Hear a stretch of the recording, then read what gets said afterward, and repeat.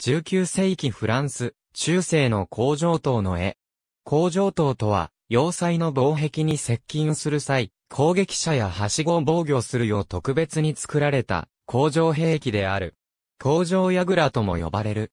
これは木造の移動式櫓で城壁に板を渡して兵士を城内に乗り込ませ、また最上階に配置したい手により城壁上の敵を制圧するのが目的である。古代から地中海世界、西アジア、中央アジア、中国の諸文明、中世、ヨーロッパや戦国時代の日本など、極めて広範囲に普及した。この塔はしばしば長方体に4個の車輪をつけた形をとり、高さはおよそ防壁のそれと等しいか、または塔の頂上にいる旧兵が要塞の中に射撃できるよう防壁よりも高められていることがあった。塔が木製で可燃性があったことから、これらには鉄や往々にして、直前に剥いだ、二薬獣などの生皮といった、不燃性の被服が施されていた。工場塔は主に木から作られたが、時折は金属製の部品も使われた。古代の金塔では、紀元前11世紀から使用され、ヨーロッパでは、紀元前4世紀に、また古代の極東でも、工場塔は使用された。こうした工場塔は動かしにくい大きさであることから、トレビューシェットのように、多くの場合は包囲したその場所で組み立てられた。建造には相当な時間を要し、もしもはしごによる攻撃や、行動戦、または、防壁や、門の破壊などによって、要塞の抵抗と防御を打破できないとなれば、工場塔が主力として作られた。多くの場合、工場塔は、槍兵、剣兵、また防御側へクオレルを放つ銅兵を収容した。その大きさから、しばしば工場塔は大きな石を打ち出すカタパルトの優先目標となったが、塔の型にも、報復のための投射物が装備されていた。工場塔は、兵員が敵の防壁を乗り越えるために使用された。工場塔が防壁へ近づいたとき、この塔は渡し板を防壁と塔との間に下ろした。兵員は防壁の上から城や市街へと侵入した。市街を攻撃するアッシリア人、彼らは、旧兵と車輪付きの昇格を用いた。ニムルードの北西宮殿にあるアッシリア人のレリーフ。紀元前865年から860年。マサダに残存するローマ人が築いた工場用の傾斜道。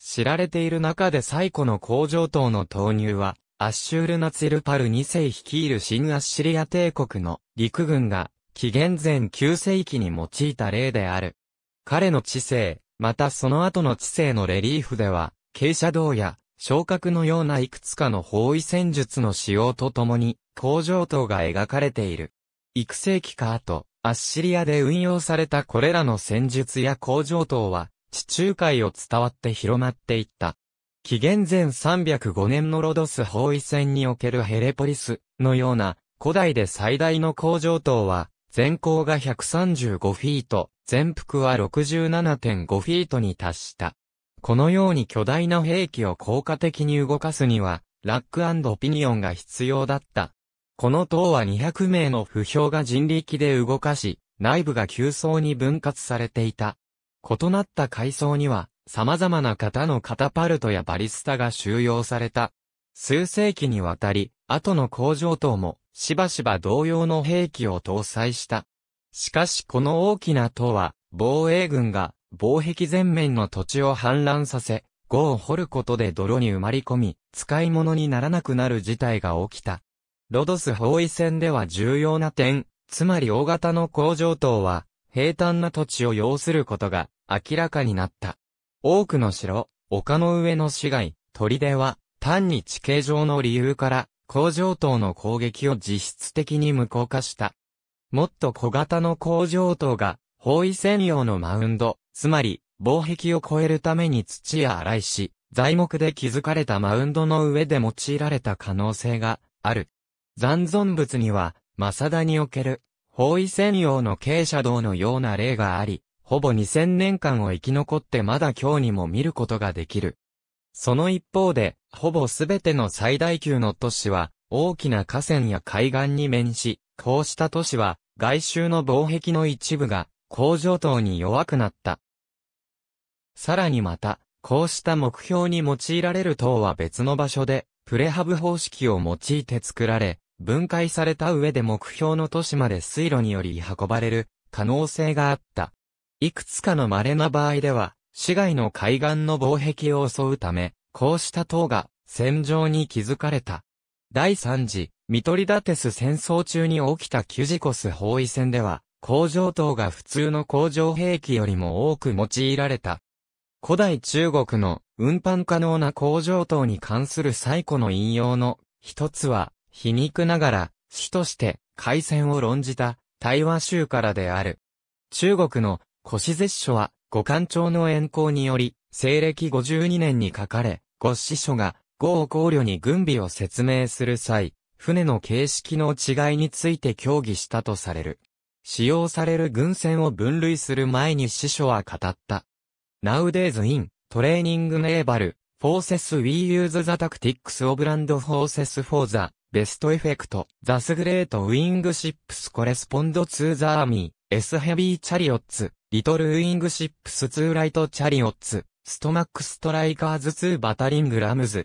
castle ships to mobile assault towers, and bridge ships to light cavalry,階層化された内部と私いた。ローマ帝国の西側は、崩壊によって、独立国家に変じ、また東ローマ帝国は防勢に置かれた。中世の間、攻城塔の使用は頂点に達した。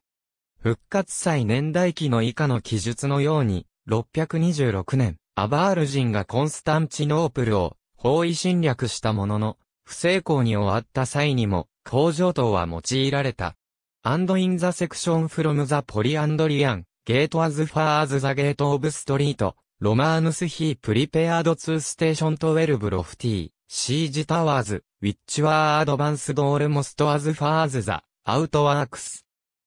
アンドヒーカバードゼムウィズハイズ、中世イギリスの攻城塔。下部に、波状土を備える。また、この包囲戦では、攻撃側が、ソスを投入することとなった。これは、移動可能な装甲化されたシェルターで、中世を通じて使用され、作業者は防衛側の攻撃から守られつつ堀を埋めることができた。これにより防壁まで移動する工場等のための整地が行われた。しかしながら防壁の基部にタルスと呼ばれるスロープを建築することで、ある程度この戦術の効果を減らすことができた。これは十字軍の要塞では、一般的な防御だった。中世の工場等はまた、より精巧なものになっていった。1266年のケニルワース、情報位戦において、一例では200名の旧兵及び11機のカタパルトが1機の塔で運用された。それでも包囲戦はほぼ1年ほど続き、イギリスの歴史における最長の包囲戦になった。これらの塔は決して破壊できないものではなく、1453年、コンスタンチノープルの陥落の際には、オスマン帝国軍の工場塔が、防衛側のギリシア火薬を浴びた。工場塔は、大型の火砲の開発によって脆弱で時代遅れなものに変じた。これらの塔は高い壁を越えて、兵員を送り込み、攻撃するためだけに存在していた。大型の火砲はまた、高い防壁をも、時代遅れなものとし、要塞は新しい変化を遂げた。しかし、後に建造された、法列塔は、火薬の時代においても、類似の任務を帯びた。工場塔に似た、こうした塔は、包囲専用の砲を据えるため、現地で木によって作られた。こうしたものの一つは、ロシアの公兵技術者、イワン・ビロドコフによって作られ、ロシア火山戦争の一局面である1552年の火山包囲戦に投入された。この塔は10門の大口径砲と50門の警報を搭載した。この塔はグーリエ・ゴーラドを発展させたものという可能性がある。これは移動可能な防御物で壁ほどの大きさのシールドに下方用の穴を開けたものがプレハブ方式を用いて台車やソリの上に組み立てられていた。法列塔は後にウクライナのコサックによってしばしば使われた。ありがとうございます。